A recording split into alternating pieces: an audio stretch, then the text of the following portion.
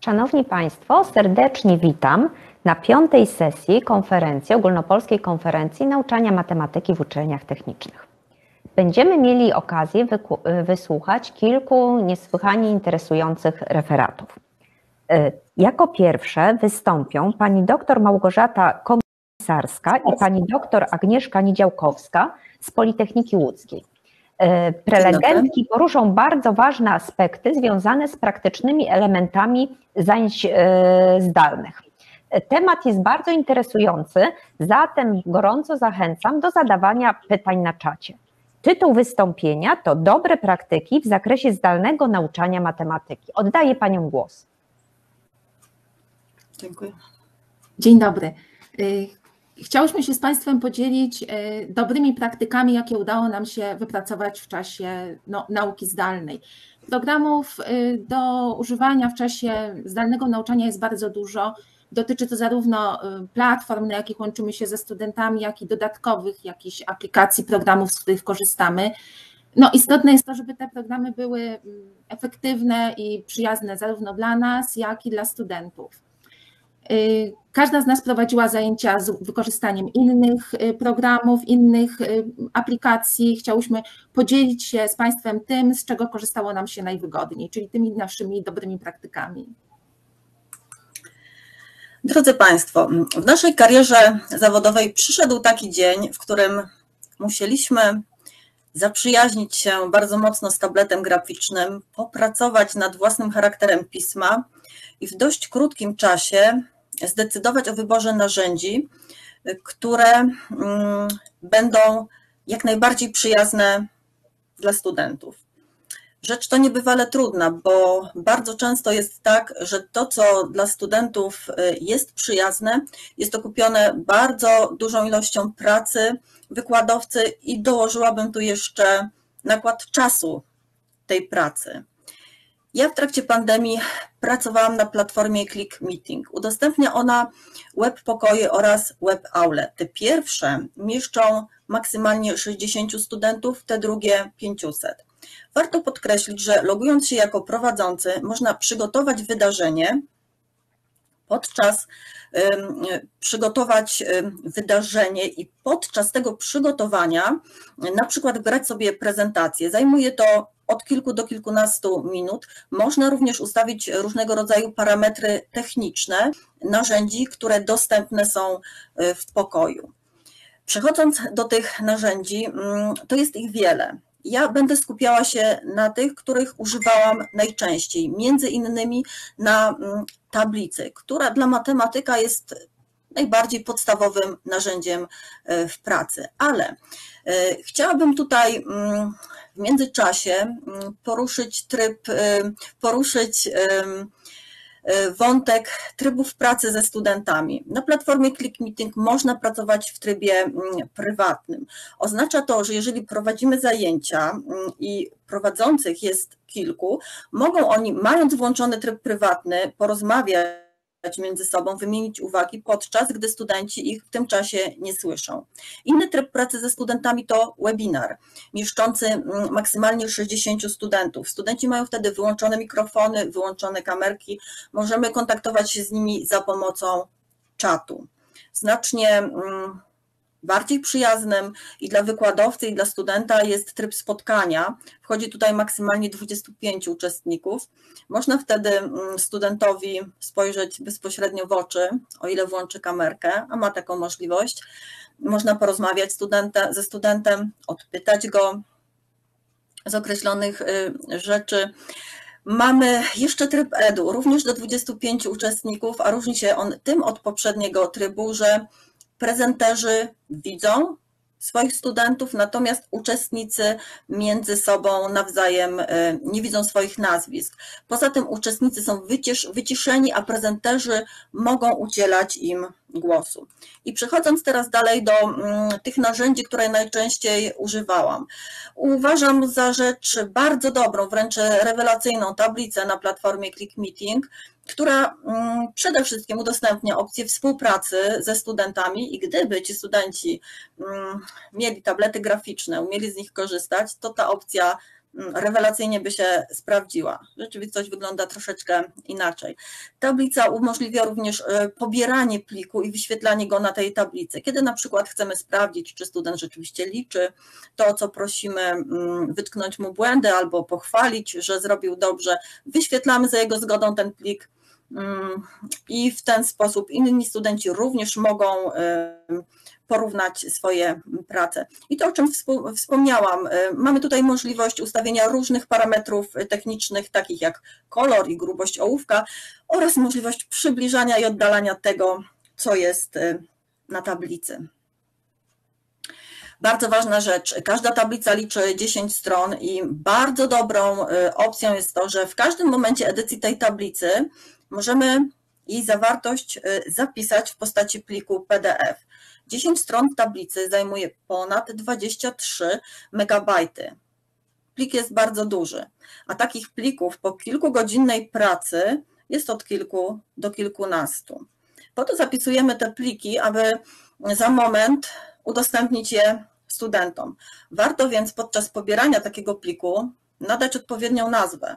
Najlepiej, żeby nazwa zawierała informacje o tym, czy to wykład, czy to ćwiczenia, przyporządkowaną datę tak dla zachowania porządku, a następnie, kiedy już mamy mm, to wszystko zrobione, umieścić ten plik y, na platformie Wicamp wcześniej, tworząc odpowiednie aktywności. Tych czynności jest do wykonania wiele. Jeżeli plików mamy kilka lub kilkanaście, robi się z tego mm, całkiem, mm, całkiem spora praca i duży nakład y, czasu. Chciałam Państwu pokazać, jeszcze omówić króciutko mm, dwa narzędzia.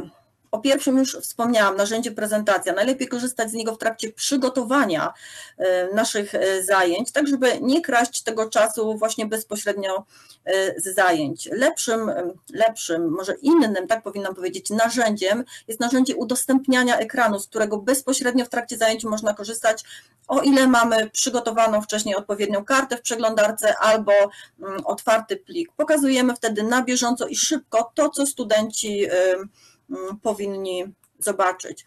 Chciałam jeszcze Państwu pokazać taki maleńki wycinek wewnętrznego kursu na Wikampie właśnie z tymi aktywnościami zawierającymi y, pliki PDF, czyli tablice zapisane podczas zajęć.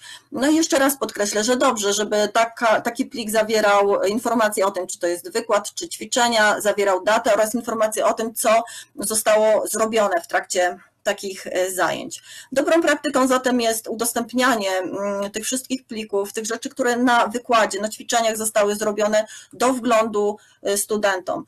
Mm, bardzo dobrą rzeczą jest to, to moja opinia, jeżeli e, w trakcie zajęć piszemy na tablicy, niekoniecznie wyświetlamy, ale piszemy. Daje to namiastkę tego, zwłaszcza jak ze studentem możemy porozmawiać, kiedy jesteśmy w trybie spotkania, na miastkę tego, że mm, jesteśmy z tym studentom na tyle blisko, na tyle blisko jakby, to, jakby to były zajęcia mm, stacjonarne. Możliwość podkreślania, akcentowania pewnych rzeczy kolorami ma tutaj też swoje znaczenie i takie pisanie na tablicy uważam właśnie za dobrą e, e, praktykę. Jeszcze raz podkreślę, że to udostępnianie plików, przygotowanie zajęć to jest bardzo duży nakład pracy przed i po zajęciami od strony wykładowcy, a podkreślając to, robię sobie takie miękkie przejście e, w kierunku tego, co powie Małgosia, gdyż okazuje się, że można do tematu podejść inaczej, że można podejść sprytniej. No właśnie, e, programem, który ja chciałam Państwu zaproponować, e, zaprezentować, to jest aplikacja OneNote Użycie tej aplikacji zaproponowała mi jedna ze studentek, która znała ten program, stosowała no i zachwalała jego zalety. Y, ona jest bardzo łatwo dostępna, dlatego że ona wchodzi w skład pakietu Microsoft Office, czyli każdy, no, każdy student, każdy prowadzący ma do niej bezpośredni dostęp, także nie ma tutaj jakichś takich kłopotów. Y, na czym polegają te zalety? Y, praca z, tak, z, tym programem polega na tym, że y, to, co Agnieszka mówiła, te notatki, te tablice udostępniamy tylko jeden, jedyny raz. Czyli praca polega na tym, że dla każdej grupy na początku, na przykład na początku semestru tworzymy notes, w którym piszemy i ten notes wystarczy tylko jeden, jedyny raz udostępnić grupie. Czyli nie ma zapisywania e, tablicy po każdych zajęciach, nie ma wygrzebywania jej z gąszczu innych tablic, nie ma nazywania jej, nie ma eksportowania, tego wszystkiego po prostu nie ma. Tutaj na obrazkach e, pokazałam te notesy, z których ja korzystałam w poprzednim semestrze. No tutaj te nazwy zależą tylko i wyłącznie od nas. E, ja sobie tak nazywałam, żeby przyporządkować notes do, do grupy, do zajęć, żeby to łatwo odnaleźć. Studenci też, jeżeli mają napisane matematyka 1, a na innych przedmiotach y, też korzystają z tego programu, no to też rozpoznają łatwo tę matematykę. I y, praca polega na tym, że na zajęciach piszemy w tym udostępnionym wcześniej notesie. Cokolwiek zapiszemy na zajęciach w tym notesie, bez żadnego dodatkowego działania z naszej strony studenci widzą, studenci mają udostępnione. Czyli to udostępnione notesu odbywa się tylko jeden, jedyny raz, no na przykład właśnie na początku semestru. Y, to, co jest wygodne, to organizacja jeszcze każdego takiego notesu. To też było dla mnie super y, sprawą. Tutaj pokazałam przykładowy notes, akurat tutaj z mojej matematyki 2 dla studiów niestacjonarnych. Y, tak jak proszę spojrzeć tutaj po lewej stronie, każdy notes zorganizowany jest w ten sposób, że tworzy się sekcje. To znaczy one się same tworzą, prawdę mówiąc, ja tylko mogę nadać im nazwy. E, I te nazwy też ode mnie zależą, od każdego użytecznika, znaczy od tego, kto tworzy sobie notes. E, ja nazywałam te nazwy, tak jak widać, według numerów zjazdów, no i dat, żeby zachować chronologię. Ale to może być, nie wiem, tytuły, jakieś, jakieś tematy, jakieś tytuły zagadnień, numerki, cokolwiek nam pasuje. I tak jak widać po prawej stronie z kolei, w obrębie każdego takiego rozdziału, czyli u mnie na przykład tutaj na zjeździe drugim, można sobie dokładać strony. To się nazywa strony, to są takie podrozdziały. Czyli ja tutaj na przykład zapisywałam oddzielne tematy, jakie były na tutaj każdym zjeździe robione. Czyli na przykład na drugim zjeździe były takie cztery tematy, a tutaj będzie widać, na czwartym zjeździe były takie dwa tematy. I podkreślam, to się robi tylko w czasie zajęć, żadnego naszego dodatkowego działania po zajęciach już nie ma. No, to, to była ta ogromna różnica dla mnie. Y, jest to super wygodnie uporządkowane, zarówno my możemy sobie w dowolnym momencie sprawdzić, co gdzie robiliśmy, żeby nie pomylić no, między grupami jakichś zajęć, zarówno studenci mogą doskonale, łatwo, szybko znaleźć, co było na którym zjeździe, gdzie był jaki temat, nie ma problemu y, z tym tematem udostępniania tych notatek i żadnego dodatkowego działania wykonywać nie musimy. To była ta ogromna zaleta. Y, teraz jak wygląda takie pisanie w tym notesie? No tutaj y, są te wszystkie zalety, o których Agnieszka mówiła w przypadku tablicy. Nie ma jakichś super innych dodatków, ale to było dla mnie też bardzo wygodne.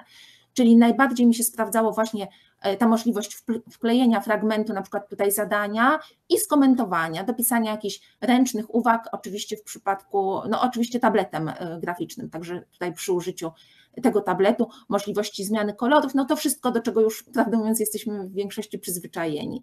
I na następnym obrazku o właśnie, ta możliwość rysowania rysunków, różnych kolorów, zaznaczania, podkreślania też już przestało to być dla nas jakąś super nowością, ale, ale to po prostu się sprawdza, to wszystko e, w tym programie także jest oczywiście możliwe. E, to, z czego bardzo korzystałam, też koleżanka o tym wspominała, e, tutaj też to bardzo fajnie działa, możliwość wklejania pliku ze zdjęciem. No, e, pamiętamy, e, że studenci najczęściej nie dysponują tabletem graficznym, czyli nie mają możliwości pisania na tablicy. Czyli to, że oni sobie napiszą na kartce, zrobią zdjęcie i ja to wkleję na tablicę, to oczywiście e, no, jest forma ich aktywności, czyli jakoś zastępuje w pewnym stopniu to podejście do tablicy i pisanie kredą. Tutaj mogę poprawki robić, jakoś, jakoś zmieniać, jakoś, jakoś korygować uwagi. No, ten plik, jaki mogą wysłać, jest w dowolnym formacie. My używaliśmy właśnie tych PDF-ów, JPG, PNG, tak jak im jest wygodniej włączyć. Y, I jeszcze tak, dwie bardzo wygodne sprawy.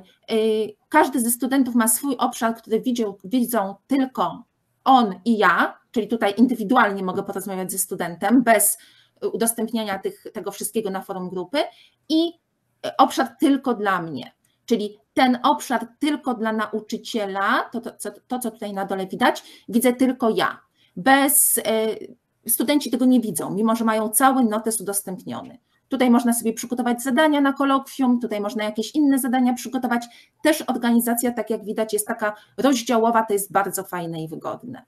I ostatnia zaleta podkreślam, że z tego programu korzystamy niezależnie od tego, na jakiej platformie się łączymy ze studentami. Czyli ta możliwość udostępnienia dobrych notatek jest niezależna, y, bez naszego żadnego wysiłku, jest niezależna od tego, z czego korzystamy, czy z Teamsów, czy z Click Meetingu, czy, czy inaczej. Ja tylko dodam na koniec, Mhm. E, że bardzo dobrą praktyką jest e, dzielenie się e, między sobą doświadczeniami nabytymi w trakcie prowadzenia takich zajęć, co umożliwia nam ta konferencja. I w tym momencie bardzo chciałbyśmy podziękować za możliwość udziału w takiej konferencji.